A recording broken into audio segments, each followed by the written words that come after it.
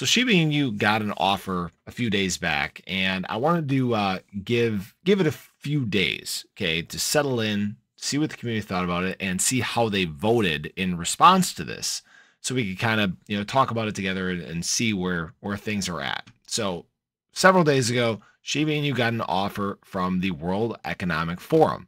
What they're trying to do is shape their metaverse policy. So we know that Shiba Inu is currently in development of the SHIB metaverse, right? There's all these things that are coming out, all these updates that we're getting, and it looks like it's going to be pretty awesome. So they've come to some of these large metaverse players, whether that be you know Shiba Inu, Decentraland, um, some of the other ones as well, and they're trying to again formulate their policy. Now, Shytoshi asked the community. He said, "Hey, I want to hear what your guys' thoughts are because it's not our decision, it's yours." And they went through some voting, and with this voting, you can see that 60 almost 63% of the people that voted, which was 22,000 people, voted yes to working with the World Economic Forum on the metaverse.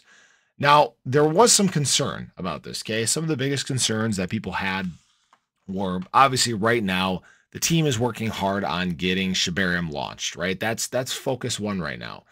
And they're worried that if you know, Shiba Inu works with the World Economic Forum on this shaping of their policy, that it's going to deter some attention away from Shibarium and getting that launched, right? And I don't necessarily think that's the case, right? This is more more so like offering insight and all these sorts of things rather than stealing time away from development.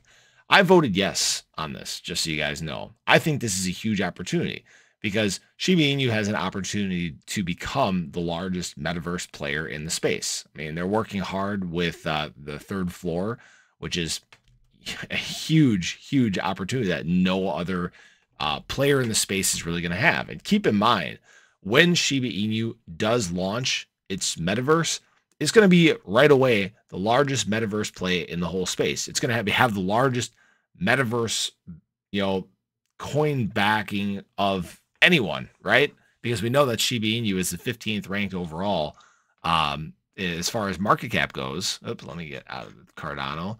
And I think right here, if we look at Metaverse, you can see nobody else is even close. Okay, ApeCoin would be the next closest thing at just over a billion. And we look at Shiba Inu, Shiba Inu is all the way at 5 billion. So it's not even close, five times their size. And Metaverse is going to be a play that continues to move forward, right? There's a lot of stuff that's going to be done there. And this is going to help shape what that whole landscape is going to look like, right? The metaverse is new, it's ever changing. So it'll be very interesting to see how this all plays out. And Shiba Inu price is obviously reacting well, you know, to this stuff going on along with the rest of the market. But there's a lot of movement right now. Shiba Inu started to flip towards kind of a bullish sentiment, you know, over the last week or so here. We can see it's climbing out of these depths that we hit, you know, the FTX fallout, keep in mind, is still there, right? We don't know. We don't know what else is going to be found out, how this is all going to play out, if there's going to be anything that comes back to any of the people that used FTX. You know, who knows, right? Obviously, you just have to wait and see. But, but th- I want to hear your guys' thoughts. Let me know what you think. Um, whether we should, or whether the Shiba community, the Shiba, Shiba Inu team should uh, help the World Economic Forum, or whether you think they should just stay away and focus on their own thing. So, as always, appreciate you guys stopping in, checking out the video. If you haven't already, again, show your support, hit that subscribe button, hit the little bell. Uh, that way you can stay updated anytime there's new content live on my channel. Oh, as always, this is not financial advice. Don't know what's going to happen with the price, but hey, this is really cool stuff to see. so appreciate you guys as always. Hope you're having a great weekend. Really hope to catch you in the next one. Take care, guys.